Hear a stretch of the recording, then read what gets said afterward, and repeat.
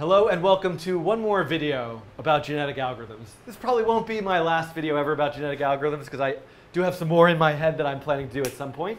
But um, this does kind of wrap up a bunch of the range of ideas um, that I've been talking about in this series of videos that you may or may not have been watching so far. But I want to talk about sort of a fundamental flaw in the examples that I've been showing to you. So this is uh, uh, the Smart Rockets example that I built as a coding challenge, uh, kind of playing out. And what these rockets are doing is they're evolving a kind of path from the bottom of the screen to this target, and they have this DNA built into them, which is a lot of vectors, forces to kind of push them around the screen. And over time, they're trying to get around this obstacle and make their way, and, and if you run this for a while, eventually you'll get there. But let's think about how this system works as compared to the real world that you and I live in. So let's say these aren't smart rockets, but they are um, monkeys, and these monkeys are evolving. It's, we, the scenario that we have here is kind of like, okay, let's have 100 monkeys all born at once. Then let those 100 monkeys live for exactly 200 frames of animation.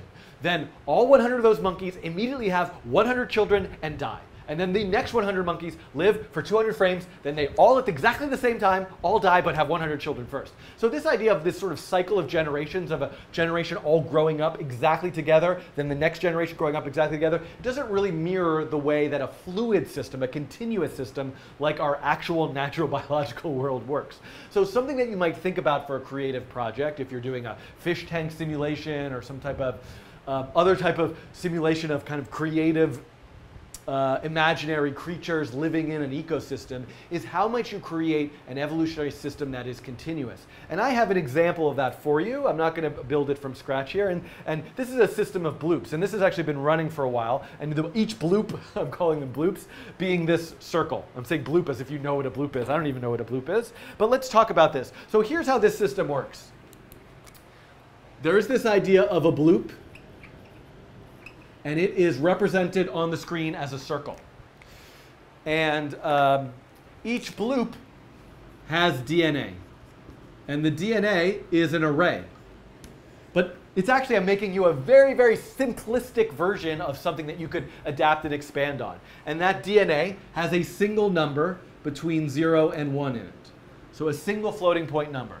So here might be a bloop that has a number 0.1. There might be a bloop that has a number 0.5, there might be a bloop that has a number 0.9. This one might look like this, this one might look like this, and this one might look like this. So the DNA, its single property, is mapped to its size.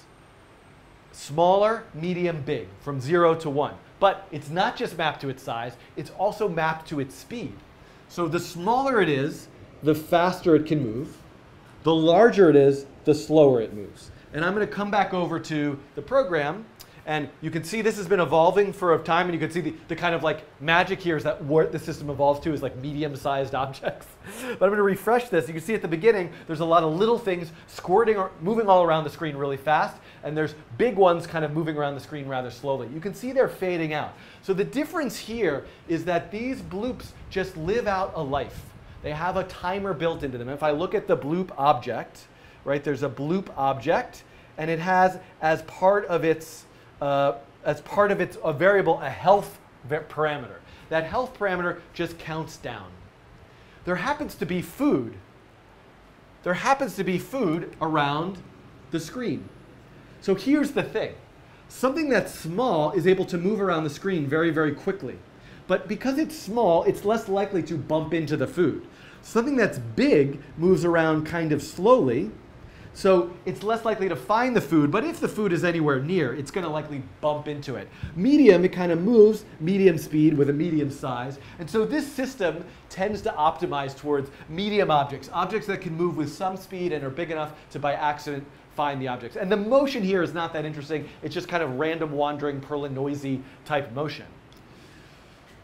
But what you'll see, the sort of key factor here is that when an object dies, it fades away and it's gone.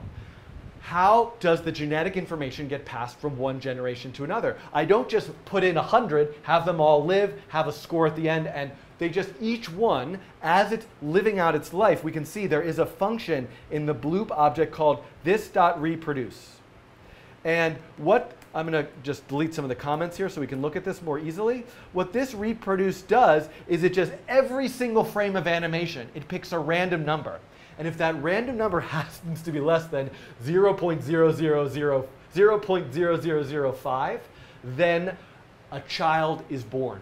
So this mirrors more closely, of course it's not exactly like our biological world, but something that lives a longer period of time has more chances to perhaps find a partner to mate with to pass genetic information down to the next generation. Now in this case, these bloop objects are just cloning a version of themselves.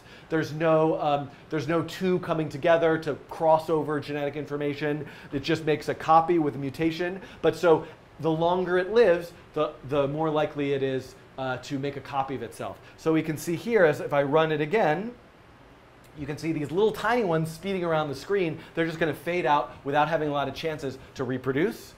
The big ones are going to kind of fade out without having a lot of chances to reproduce, but the medium-sized ones are going to last for quite a while. Some other strange uh, uh, artifacts happen. Actually, when one of these objects dies, it leaves a piece of food right there. So sometimes you can have a cluster of the big objects all sort of dying, leaving food, and then like kind of eating the leftovers so that some sort of interesting things can kind of happen even in this like really really basic simulation but i think the things for you to think about are what might be a system like this where the rules that govern the motion of these objects are more interesting. You could go back and look at some of my video tutorials about steering behaviors, how, what might be other rules that govern the way things find food or move around or escape predators in an ecosystem simulation.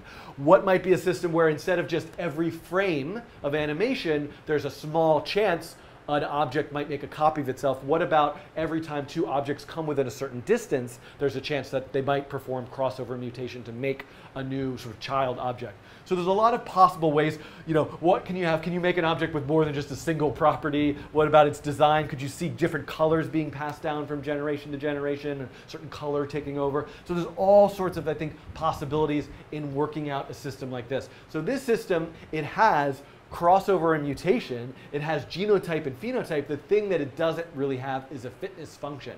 There is no fitness assigned to any of these objects. Fitness just is something, it's, it's not survival of the fittest here, it's survival of the survivors. The things that survive longer have a more likely chance of passing their genetic information around to the next, down to the next generation.